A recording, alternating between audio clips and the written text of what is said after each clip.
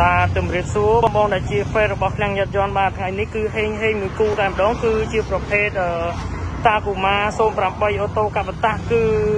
ជាប្រភេទរថយន្តស្អាតបងប្អូនគឺភ្ញៀវក៏ធ្វើការជាវទៅហើយបងប្អូនគឺស្អាតខ្លាំងមែនទែនគឺដាច់មួយគូតែម្ដងសិតតែកាបតាបងប្អូនគឺជាប្រភេទ08ខាងនេះក៏08ដែរបងប្អូនគឺជាប្រភេទសគឺបងប្អូនដែលគាត់មើល live យប់មិញគឺគាត់ធ្វើការមកជាវហើយបងប្អូនគឺស្រស់ស្អាតខ្លាំងមែនទែនគឺជាប្រភេទរថយន្ត អឺ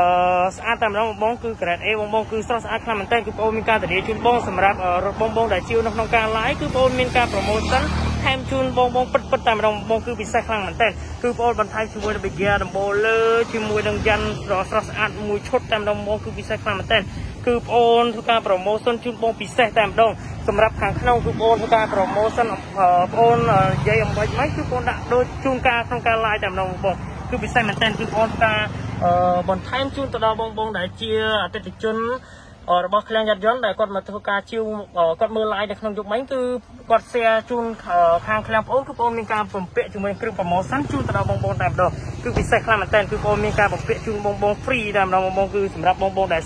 ដែល share ចំពោះវីដេអូនៅក្នុងការ live នៅនៅពេលដែលបង live គឺបងមានការ promotion បំពាក់ជូនបង free free តែម្ដងបងពិសេសខ្លាំងមែនទែនថ្ងៃនេះគឺខេងខេងចំនួន2គ្រឿងបងបងគឺ2គ្រឿង សិតតែជាប្រភេទ08អូតូកាប់តាក់គឺស្រស់ស្អាតខ្លាំងមែនទែនគឺស្រស់ស្អាតខ្លាំងហ្មងបងបងគឺស្អាតស្អាតបងបងគឺស្អាតខ្លាំងបងបងនេះ08បងបងខាងនេះក៏ជាប្រភេទ08